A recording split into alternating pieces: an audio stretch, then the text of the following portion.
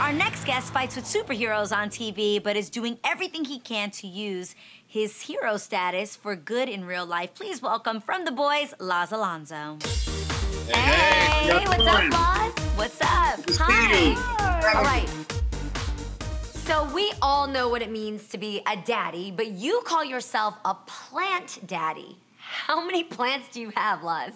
I'm a proud plant hear this. daddy. I have upwards of 50 plants right now. And I need quarantine to be over because it's getting a little out of control. I'm a little overwhelmed at the moment. Wait. Yo, I have I You're about to have like a little In shop of place- horrors in a second. I cannot I cannot even take care of my cactus and they need nothing. What got you into plants in the first place? So uh, I had a, a dog for my first 14 years in LA. And that was my road dog. I mean, he was with me from when I was still auditioning for little commercial roles and, and, and little bit parts on shows to the point where, you know, he saw everything from that to Avatar. And uh, I lost my dog. I still haven't gotten over it. I haven't healed to the point where I've been able to get another dog. So I put all my loving and energy into into plants. And and that's just kind of like Well, giving me something to well, pour they're some love. alive. You've got 50 alive, so I'd say you have a green thumb, right? right, that's amazing. You definitely Yeah, have yeah, a green I, thumb. I got fruit bearing trees. If you need some oranges, lemons, guava. Yes. Uh, I got a mango tree, peaches. Let oh me know. God, I, I got want, I want mangoes. That's got you. amazing. I want some guava. I didn't even know you could grow guava out here. I thought it was tropical. Wow. Well, what are your thoughts on the NFL trying to make amends for their past issues with racism? I think that it's the least they can do. You know, I think that uh, they have a lot, of, a much longer way to go. This is a good start. Uh, I love to see how sports teams have stepped up to the current times. But I think if they really wanted to to make a true statement, they would give Kaepernick a, another opportunity to come back and really show that he's still in play. And and if he can't play, then that's a different story. But give the man a shot. You know, so that's where I'm at with it. Absolutely. And you are I'm you are with you really using your platform to push the message of how important it is to vote. What's the main point uh, that you're trying to drive home by getting involved? Uh, you know, that's a that's a, a great question, and I'll tell you the main reason is because I'm not trying to push anybody to vote in one direction or another. Everybody has the, the right as a U.S. citizen to support whoever they want for whatever reason they want. Yeah. However, I I really feel personally attacked when my own community feels disenfranchised to the point where they feel like their vote, vote doesn't count.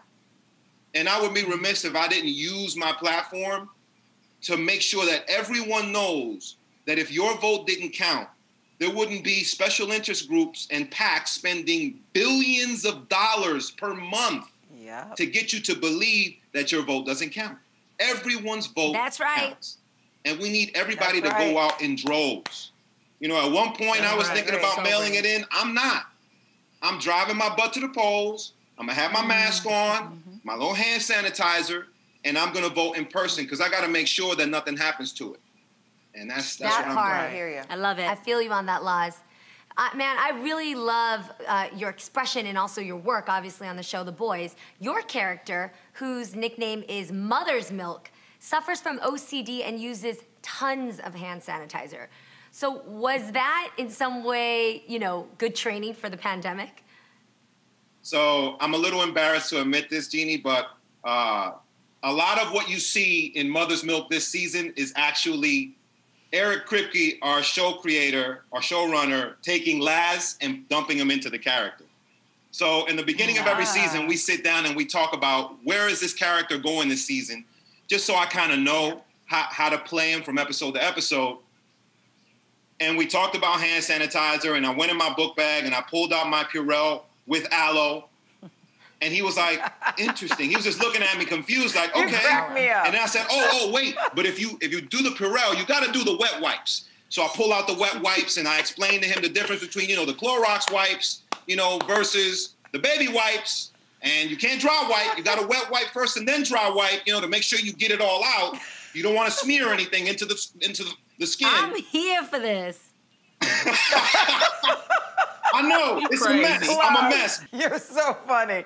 Um, Laz, the show can be pretty gory. Where uh, were there any scenes that you know you had a hard time shooting?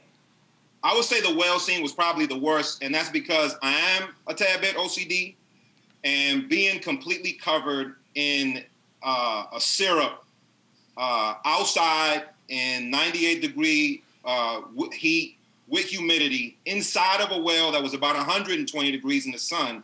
Now, mind you, when they oh pitched us the whale episode, they told us the whale was going to have air conditioning in it. They were telling about, yeah, they were telling us about how sophisticated this whale was, how it's animatronics, the heart pumps, the lungs pump, it spurts blood, and also they built in these ducts mm-hmm.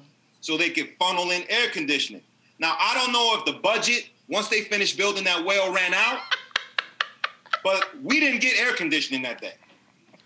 And then, and then you got then, then we had to learn how to work inside the well because if you touched anything on the well, your syrup and the whale syrup was going to get stuck and dry out.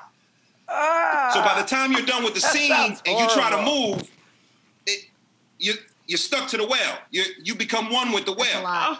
So yeah, that was. Well, this isn't as. This, now I see why you like this, to hang out with plants. Yes. Well, yeah, you know what? Exactly. I want to see the clip of you and the whale, but this is not the clip of you and the whale, but it is the clip of you and the boy. so let's take a look at it. My pops, he'd always ask for samples. Now, this place had 31 flavors, and that man would taste each and every flavor every time we'd go up in there. There'd be a line all the way out the door. People would be mad as hell, yelling, cussing. Yo, my man, get ice cream and bounce. You think that stopped him? Hell nah. He would stand right there and order another sample. Can I please try the Jamoca almond fudge, please? Laz, you were so That's much so fun. Good. Thank it's you for hanging out with us today. It's always show. a pleasure to see you. Season two of The Boys is streaming right now on Amazon.